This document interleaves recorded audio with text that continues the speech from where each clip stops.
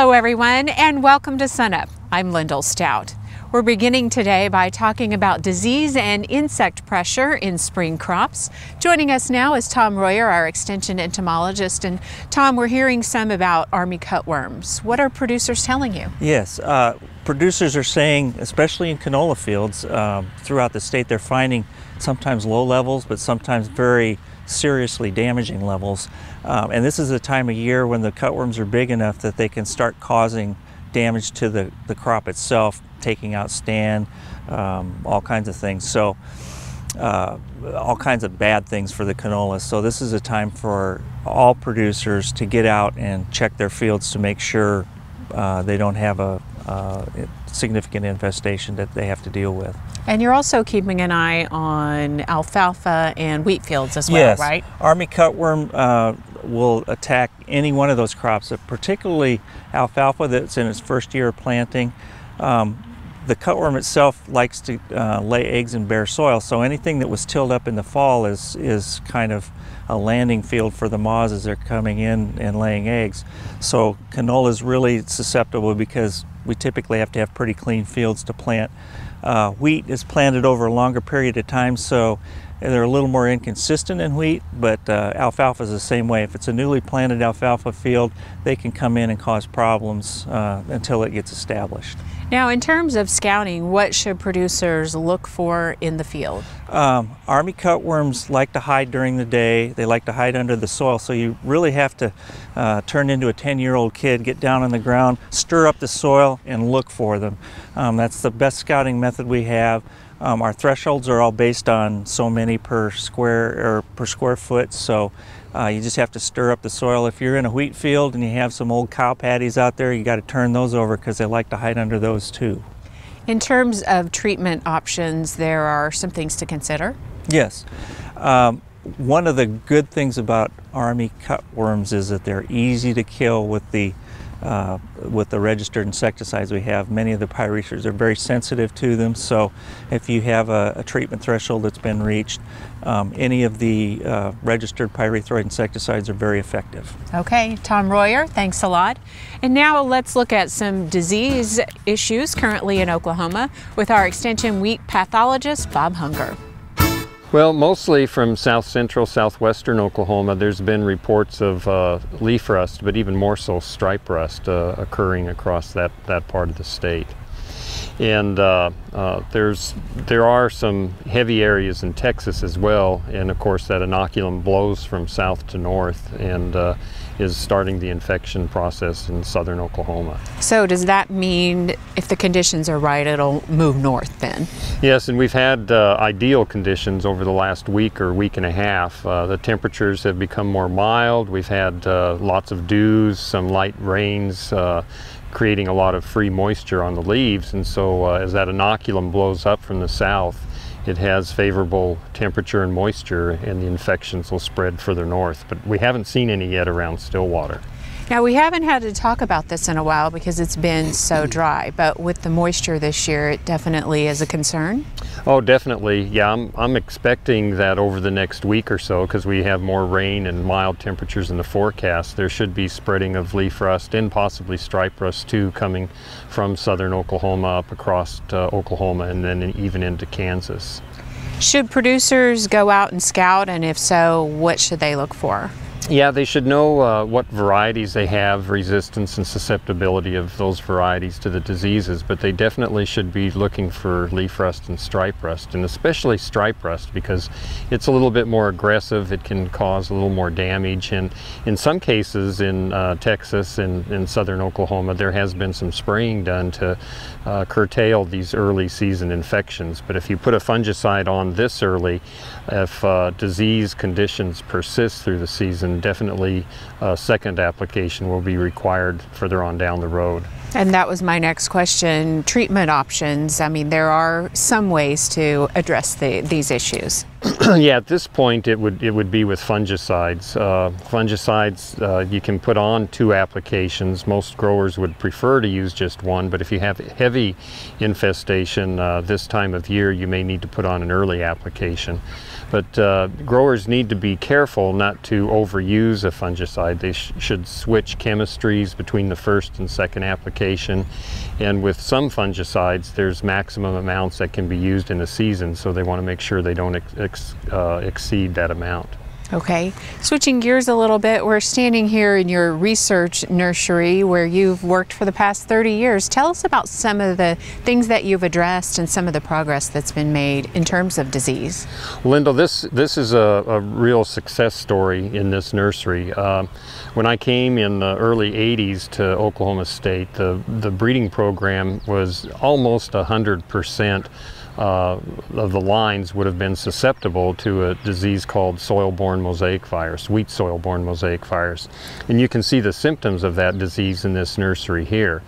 Uh, since that time, because of the breeding process, uh, now well over 95, even 98% of the lines in the breeding program are resistant to soil-borne and spindle streak virus.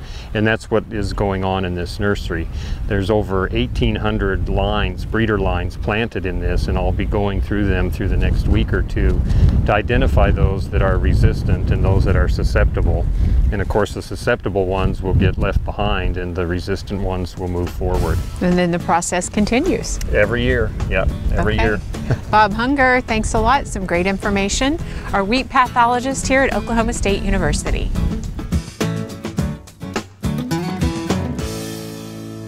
We're only about a month to six weeks away from the start of the spring breeding season, so now's a good time to make sure our bull battery is ready for that particular purpose. Many, many production bull sales are going on all across the Midwest, and so if you're out purchasing a, a new young bull, one of the things I would suggest is that we bring him home as soon as possible and try to let him down nutritionally if he'd been eating a, quite a bit of grain at his previous owner's place, we want to start substituting more forage into his diet because he's going to be on an almost totally forage diet when he goes into the breeding season. We want to get his rumen ready for that particular event. Now, if we're going to have several sires in the same breeding pasture, now's a good time to put those bulls together. They're going to sort out who's king of the mountain. They're going to develop that social hierarchy. So let's get the fighting done ahead of the breeding season so they're not doing it during the first week of the breeding season when we'd like to get a lot of cows bred. This would be a good time to check the feet of the bulls that we're going to use. If they need to be trimmed, let's contact our local veterinarian or whoever's going to help us trim those bulls' feet and get that done at least 30 days prior to the breeding season so that there's no chance that they have lameness or soreness going into the breeding season when we want them to be able to travel quite a little bit. If we're going to use young bulls and older bulls, let's put the young bulls together and the older bulls together. I think we'll have a less chance of an injury occurring during the fighting process of a bigger older bull beating up that, that younger bull. And if we're planning to rotate bulls during our breeding season, I'd suggest that we start with the mature bulls first, putting them out for the first two thirds of the breeding season, then bring in those young yearling bulls. It allows them to have fewer cows to breed plus the fact that they're a month to six weeks older in age and more likely to be sexually mature. Doing just a few of these simple things in terms of management can help us have a more successful breeding season with the bull battery that we've got on our place and therefore a higher calf crop the following year. Hey, we look forward to visiting with you again next week on Sunup's Cow Calf Corner. A reminder now about upcoming Farm Bill deadlines with Jody Campiche, our Ag Policy Specialist. And Jody, we're closing in on March 31st, which is a key date. Yeah, the deadline to elect ARC, the Ag Risk Coverage, or PLC, the Price Loss Coverage, is March 31st. The deadline to do the base reallocation and yield update is also March 31st. The deadline originally was in February, but it was actually extended uh, into March, and that's coming up pretty soon. Now, some counties are doing a registration process or county register, I think you called it. Talk about that. In some counties, uh, they can't get everyone in before the deadline. So what they've been doing is have producers call in, make an appointment, get on a register, and then they, they might actually have appointments scheduled after March 31st. So I've had a lot of people asking, well, do I get to go in after March 31st? Well, my suggestion is make sure that, that you call your county office and at least make an appointment, get on the register. Don't just assume you can go in after March 31st and then call them after March 31st because if that happens, uh, you may miss the deadline. And that's the county FSA office? Yeah, the county farm service agency office. So that would be each county, whichever producer is their administrative county, they'll call that office and just make sure they do that before March 31st. And it's county by county, it's not necessarily a statewide thing. County by county. Okay.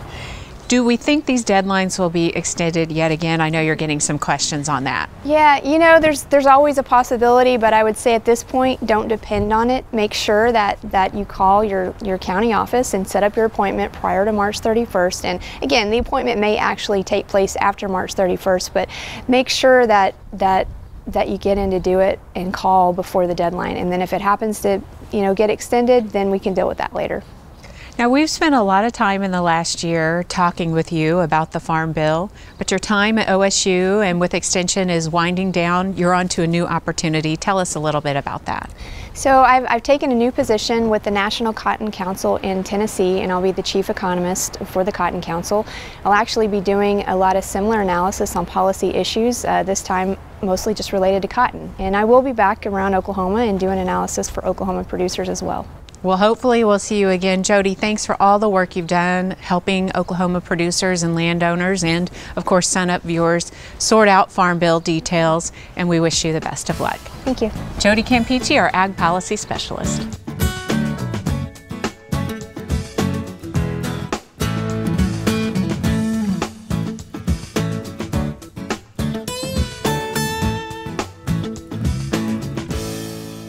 Here we are, the second day in spring, and usually there's a spring rally. And Kim, are we seeing that this year? Well, we've uh, had a 39 cent uh, price increase of wheat. It backed off about a nickel this week. Uh, you know, let's just hope that this rally keeps going. Okay, now we've been away for about three weeks.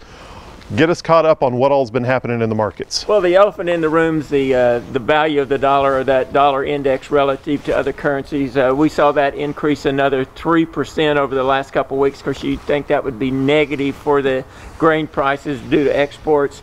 Uh, you look at oil prices; they're down 16 percent. Gas prices lower. That's that's neat because I need to fill up my car and my truck. Uh, you've got corn prices down uh, five percent. You've got soybeans down seven percent and you got wheat prices up about uh, oh around four percent. And as we get closer to harvest, what do you think the markets are going to be offering whenever the when the crops come in? Well, if we look at uh, forward contract prices right now on corn, it, they're bid off the December contract. It's around three dollars and ninety-five cents. Around the state, uh, the basis forward contract basis is a minus forty-five cents to a minus twenty. In most of Oklahoma, if you go out in the Panhandle, it's a plus twenty cents.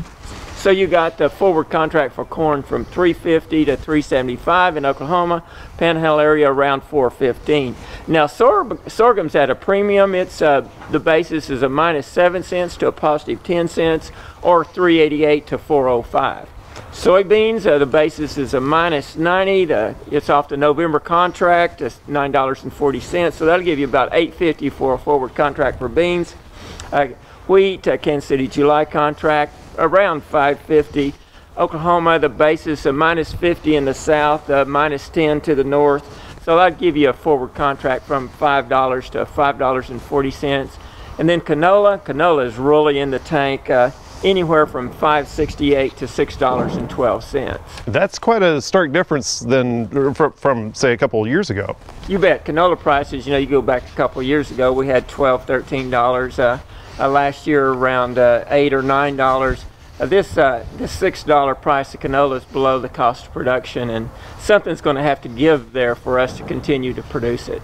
Okay, so we changed gears a little bit. Let's look into the Kim Anderson crystal ball. What do you see for prices in the future? Well, there's a lot happening in the next next few weeks. On uh, on March 31st, the USDA will release the summer crop uh, planted acres or the planting intentions, their their expectations or projection. So we don't know what our corn acres, bean acres, soy, cor- cotton, all those acres. We don't know what those acres are going to be. So that's a big known. And then you got the uh, that dollar index, the value of the dollar. It's moving quite a bit. If it goes up, prices are going to go down. If it goes down, prices are going to go up. With all the unknowns, there's not much telling what prices are going to do except waller around for the next week until we get into April and see what this crop's like. It's the time to just stay out of the market and see what's going to happen. Okay, and, and when, when people do get back in the market, you'll be there. You bet. We're Okay. always here. Okay, Kim Anderson, grain marketing specialist here at Oklahoma State University.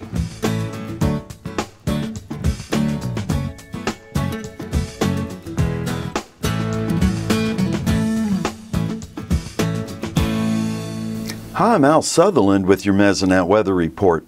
The good news this winter has been the number of rain and snow events we've had in the state. The bad news has been the amount of precipitation that has come through with some of these events. The amounts have been on the light side for too many areas in Oklahoma. Tuesday's rain was like that. A 24 hour map from Wednesday afternoon only had two locations with more than a half inch of rain Antlers with 72 hundredths and Broken Bow with 55 hundredths. Too many mesonet sites were in light blue areas, a tenth of an inch or less of rain. So, how are we faring for moisture as spring begins? Maps of the water year that begins October 1st give us a good marker. Let's look back one year to the water year that began on October 1st, 2013 and went through March 15th, 2014. This map had only a few olive green areas that were between 80 and 100% of normal. The yellow areas were between 60 and 80% of normal. The extensive light orange areas were 40 to 60 percent of normal rainfall. The orange red areas fall between 20 and 40 percent of normal. In the dark red spot, rainfall was less than 20 percent of normal. Flipping to a map of our current water year from October 1st, 2014 to March 15th, 2015, conditions are much more encouraging. A number of places are colored light green, indicating they have received more than 100% of their normal rainfall. There are no areas below 40% of normal. The light orange areas, 40 to 60% of normal, cover much less area.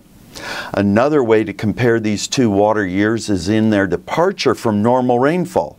The departure in rainfall from 2013 through March 15, 2014, had a large area of light orange representing 4 to 6 inches below normal rainfall. The orange red areas were 6 to 8 inches below normal. This water year from October 1st, 2014 to March 15, 2015 has only a few scattered areas of light orange, 4 to 6 inches below normal. The yellow areas at 2 to 4 inches below normal fill much of the state. And what is more encouraging are the scattered green areas of above normal rainfall. So we've had a better year for winter moisture than the winter of 2013 to 2014. A soil moisture map from Wednesday has much of the state colored green, 80 to 100% of plant available water from the surface down to 16 inches. Hollis and May Ranch are the only locations below 40% plant available water. A deeper look at soil moisture from Wednesday shows our drier, deeper soils on a map of plant available water from the surface down to 32 inches. The areas with less than 40% of plant available water expand across the western half of the state and in the panhandle, the tan and brown areas. Way out west, the folks in Boise City have soil moisture we're celebrating. 94% of plant available water in the top 32 inches of soil. Thanks for joining us for this edition of the Mesonet Weather Report.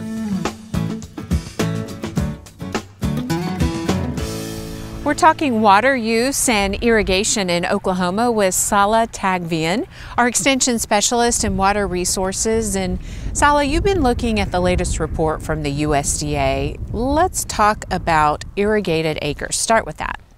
Um, yeah, according to this survey, which was conducted in 2013, uh, we had about uh, 430,000 acres of irrigated land in Oklahoma. Uh, now this is uh, close to where we always have been, about uh, a little less than half a million acres.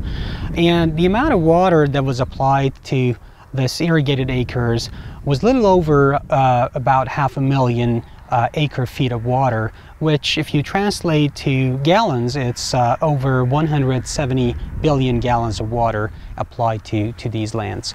Um, now, if you look at all the 50 estates and rank the estates based on the acreage of irrigated lands, we're right in the middle, uh, number 26 in, ten, in, terms of total irrigated area. We talk a lot about water in Oklahoma, of course, especially these last few years of drought. Where are most producers getting their water from? Uh, very interesting. In, in Oklahoma, we get about 92% of our irrigation water from, from groundwater resources.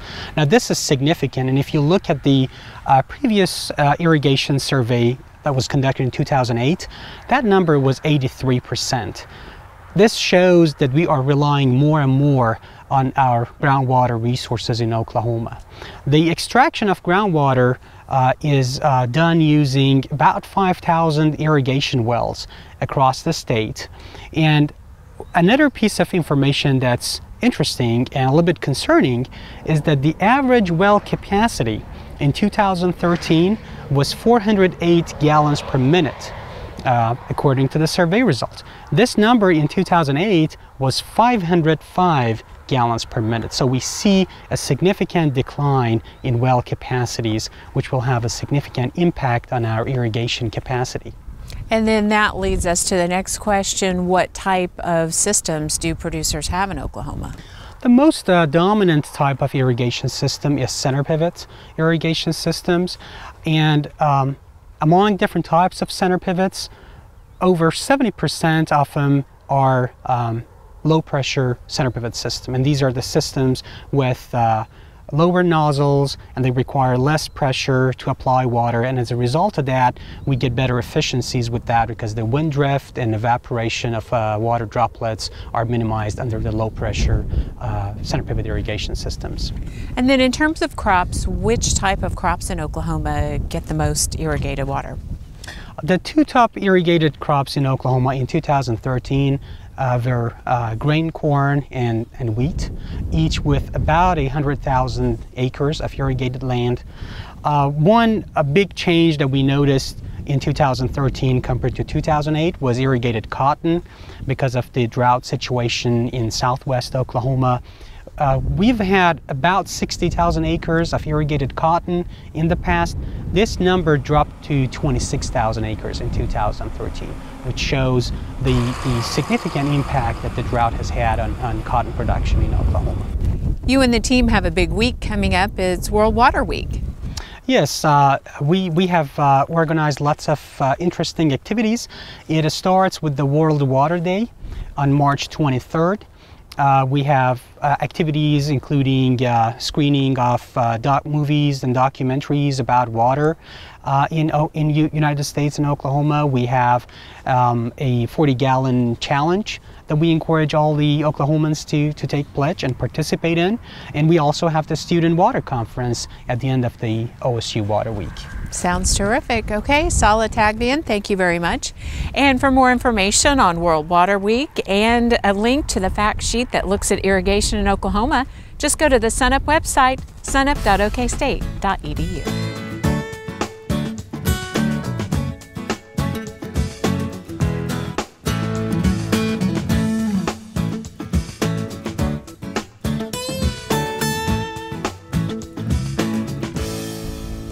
Well, it's been a few weeks since we've had an opportunity to talk with Derrell Peel.